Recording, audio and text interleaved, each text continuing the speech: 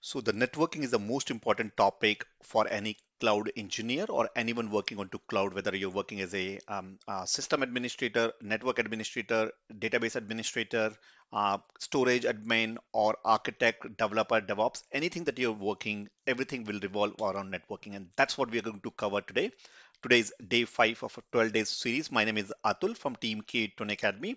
And today we are going to look everything from a within 15 minutes about networking, which includes VPC, which is a virtual private cloud, subnets, and then firewall. Three different type of firewall. We're going to talk about network firewall, NSG, which is network security group, network ed, ed eh, sorry, uh, access control list, NACL, and then different connectivity op options like VPN and direct connect. That are two main or three different type of gateways, which is um, internet gateway, um, um, NAT gateway and transit gateway, including yeah, my Route 53, which is a DNS service. Now, we are on this series about where we're looking at, uh, we have already covered, we'll talk about these, what we have covered from day two, uh, one to five, if time permits, day one to four. If time permits, we're going to cover that towards end. Also towards the end, I'm going to also tell you about a free class that you can learn understand to go deeper if you're preparing for a job if you're already preparing for certification job or, or um, resume building, etc. But we'll go to, going to go deeper into those as well as well on day 11 and day 12. Now, coming back to the topic, networking, as I said, will dictate every machine uh, which is could be a virtual machine, containers, Kubernetes, for, uh, or you have like databases, load balancers, everything and anything that needs connectivity that will come via networking. So in that networking, uh, what AWS configure it is a VPC, virtual private cloud, which is nothing but a collect or a think of it as a parameter in which or boundary, which is continuous block of IP addresses. Um, that is a VPC, virtual private cloud. How to create? Um, we'll see that in a minute, but by default, you get a default VPC every region. What is a region? We covered it in day one. I'll show it to you again here today. Now, that networking that you see that you, this is basically on a high level. So you have, for example, this is my um, VPC, which is tied within a region. So inside a region, I have the network, which we'll talk about in a minute. That network will have routers, gateways, routing tables, and then connectivity from on-premise as well as between the cloud, maybe a, between AWS different cloud regions or with on-premise as well. Now that is my VPC. So if you look at the diagram here, this is my VPC. Uh, so VPC is always specific to a region within a region, whereas in Google, it's different. Google can uh, Google networking can across um, Google Cloud networking can span across regions, whereas in AWS or Azure or, or Oracle, they are within a region. Now that VPC, which is nothing but a continuous block of IP addresses, further subdivided into called subnets, and then within inside the subnet you create your load balancers machines uh, databases etc etc and the ip will be received from one of the ips in vpc that we covered earlier.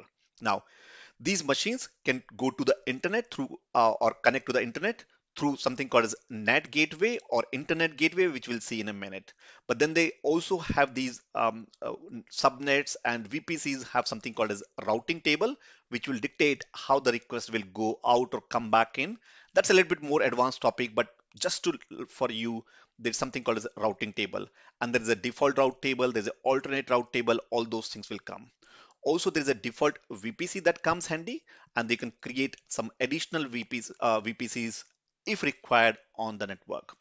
Now, if you look at here, this, this is my uh, AWS console. And what you can do is from services, you can go and look at all the networking services that are available under networking and content and delivery. Now I have this is the bottom level VPC, virtual private cloud. We'll look at other things as well, but this is where you can go and access my VPC. Now, if you see here, I'm inside this uh, US East region, and within that, if I come here on VPC, there's a one VPC uh, which is uh, there, and within that VPC, as I said, there is a uh, let me move it slightly up here. Now this is a IPv4 uh, CIDR address 172.31.0016. Again, uh, there is a whole topic in itself. If you, it's good to know about CIDR. Maybe we'll cover in future. If you want something more, just leave a comment and we'll provide you more information on that. Now, within that, that probably has this VPC will have my subnets. And to see where these subnets are, just click on a resource map view. And inside that you see all these there are six subnets within this vpc and then there is a default route table that goes out as well. Now you can come and create more additional vpcs if you want. And then later when we create a resource like virtual machine that we saw earlier a previous day uh, or databases you can use these um, inside this uh, here so that's my vpc let's go back on here or maybe see one more thing which is a route table as well i wanted to show it to you on a route table on the vpcs as well so this is the route table I was talking about by default. It's here. This is the default route table that you see here. Okay, now coming back to uh, I've already covered. Then you have something called as elastic IP. Now by default, when you assign a public IP to a machine or a load balancer or something, that IP, uh, when you restart the machine, the IP address might change if you normally assign a normal type of IP. But if when you assign an elastic IP, that IP will stay same even after restart the machine or um, yeah. So if you want a machine to always have that same static IP, you, you assign a static IP, um, which is called as elastic IP. Now, how do you define on elastic IP under the virtual machines or each of these virtual machines? You should be you should be able to like other otherwise networking here. You can see here this uh, elastic IP. You can create more elastic IPs, and then later you can attach these or allocate these elastic IPs to a virtual machine, which will cover that. If you want to know more, let me know. I'll show you an additional video for that. Now that is my elastic IP. Now, next is the security or firewall. Now, there are three type of firewall available in AWS Cloud. One is called as Network Access Control List. Now, this is a firewall which is applicable at a subnet level. So anything coming out or going in can be controlled what is allowed and not allowed, which ports are allowed and from where to allowed that I can configure using network access control list. However, I have one more firewall, which is a network security group, which is tied at a more granular level, which is my IP level. So I can assign what coming in or going out of from that IP using that network security group as well. So that's the difference between network access control list and network security group, very, very commonly asked in the interviews uh, as well. Now there is a third thing which is a firewall. Now you can protect a lot of requests coming in and out through either network access control list or network security group. But you also some companies have a more in-depth requirement like they want to do the packet inspection to see whether there's no uh, like basically not a rogue uh, packets they want to decipher that packet or they also want to do the intrusion prevention system.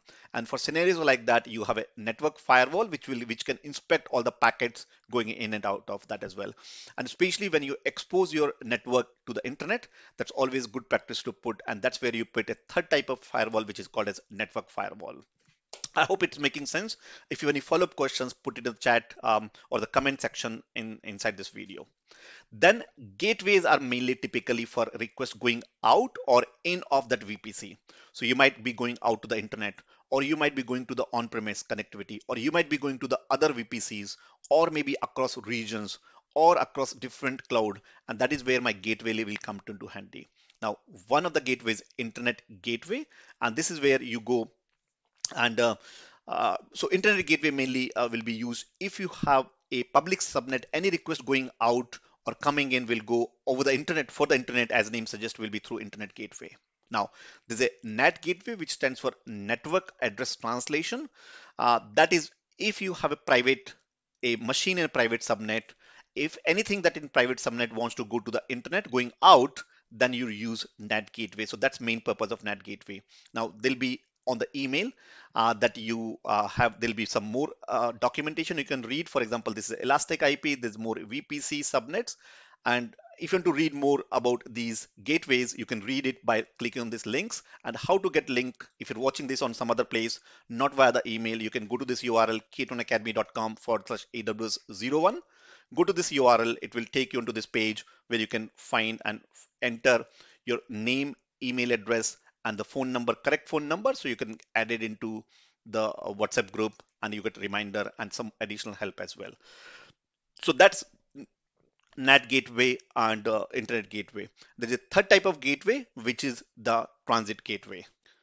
Now, the purpose of the transit gateway is, let's suppose you have multiple networks within AWS cloud or with on-premise or something Um, and you want to have a central hub point where all the different network can come and talk to the central place. That is the uh, transit gateway. So what transit gateway is it basically simplifies your network architecture by connecting multiple vpcs uh, through a single uh, gateway through transit that is transit gateway and then act as a central hub as well. If you want to know more about transit gateway read more on how to build it probably worth looking at this documentation that's pointing to our blog which will tell more about transit gateway as well. Uh, yeah so everything you need to know including uh, how to why you should use what is transit gateway, difference between transit gateway and VPC peering and so on as well. So worth reading that. Then last is about connectivity where you can, how you connect uh, to with on-premise or with other networks. Uh, so there are two main categories. One is direct connect, which is a dedicated pipe. And if you're coming from Azure, you have an express route. If you're coming from Oracle, you have a fast connect, something similar to that. You have direct connect, which is a dedicated thick pipe where you can do gigabits of transmissions on, on using that dedicated pipe direct connect. You also have a uh, VPN, which is a virtual private network, which is IPsec uh, over IPsec over the internet data moves securely to connect between on-premise to cloud or AWS cloud with other cloud vendors as well. That's my VPN. Uh, now, difference between VPN and, and direct connect. Um, that direct connect is a dedicated uh, you can always expect the kind of a bandwidth and it's much bigger than vpn whereas vpn you're relying on um, on the mm, on the internet. Now pro tip you can do is vpn and direct connect. What you can do is you can also configure vpn over the direct connect as well. So that's a little bit more secure method of connecting as well. Now because I have a 15 minute, let me move on to next is the load balancer. And load balancer as name suggests is balances the load request coming from one client and then you can distribute it to across multiple backends we call backends or maybe instances or databases. Now there are two type of load balancers. Typically earlier there was a classic load balancer but you will see two main categories of a load balancer. One is application load, load balancer that works at a OSI layer 7 model what HTTP or HTTPS traffic level. Whereas you have a another type of load balancer, which is network load balancer, and that network load balancer works as a layer 4 or layer 4 of OSI model, which is a TCP UDP um, protocol level. So depending on the requirement, you might have some uh, network level traffic load balancer or the application level load balancers. You can configure them as well.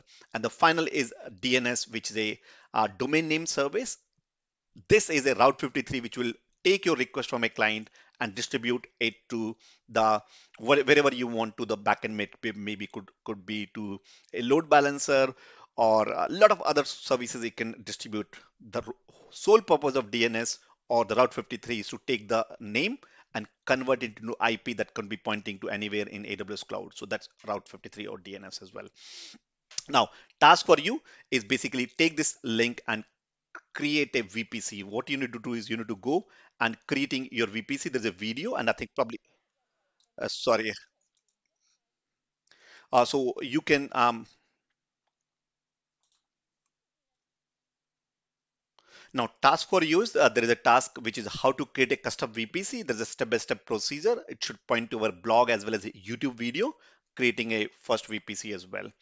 Uh, now, uh, if you want to go deeper, this is just a beginning. Uh, if you want to go deeper, there'll be some link which is uh, pointing to a free class. If you have not yet attended a free class, I do a, a little bit more in depth where we talk everything about job and uh, and and certification.